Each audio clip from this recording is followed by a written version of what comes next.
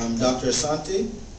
Right, thank you very much. Uh, Good evening. I just want to say a shout out to uh, those individuals who are here from Bishop Dunne High School and, uh, Dallas, where our son uh, is the director of counseling. He told us you would be here, and I'm so happy to see you. Um, A couple of things. First of all, this is a complex question. Mean, the purpose of school uh, is complex because, of course, the purposes given for schools have always changed. And in the 17th century, uh, when you had the development, for example, of the Boston Latin School, the purpose of school was to train young white men how to be leaders of the world.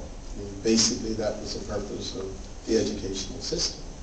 And we've seen changes. I mean, it has changed over the years. So when you ask the question what the purpose of school is, you also have to, you know, ask uh, whether or not that purpose uh, takes into consideration now that we have a, a, heterogeneous uh, society, uh, which uh, has an enormous reach, uh, not only in the nation itself, but also globally. I mean, what should be the purpose of school may very well be the question that we should ask. Uh, and it seems to me that the purpose of school, at least one purpose, I don't know whether there is a, a purpose that is non-changing, unless that one purpose that perhaps should be non-changing might very well be that the purpose of school is inquiry. And that's it. I mean, fundamentally, it is not, for example, the transmission uh, of any ideological position. It's not necessarily even the transmission of values. Sometimes we say, well, the purpose of school is transmission of values. Well, uh, whose values, what values, do the values change, and so forth. The real value, if there is a value to be transmitted by school, it seems to me, would be the value of inquiry, because inquiry allows openness.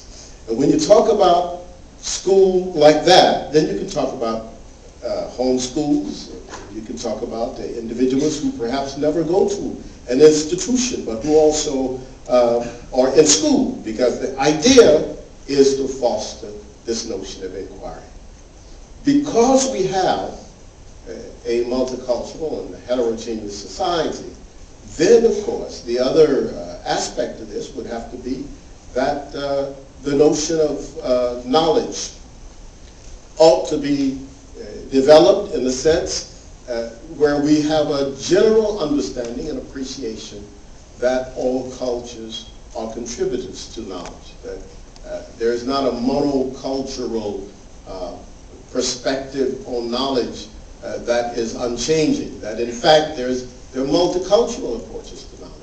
And in our society, particularly in terms of schools, it seems to me that we might need to redress this whole question of the, the idea of a monocultural system where we sort of start with the Greeks and come straight down the line as if you know the information and the knowledge we got from the Greeks is the only knowledge in the world. I mean, we forget the Chinese, we forget the Africans, forget the Indians, forget anybody else. It is basically uh, a, a, Eurocentric approach to, to knowledge. And I think that that has really crippled our students, particularly in a global world. So I'm interested in the purpose of education uh, as inquiry, as openness, and openness to question. When we are set, just at the moment when we think we are set, that is the moment that we should inquire even.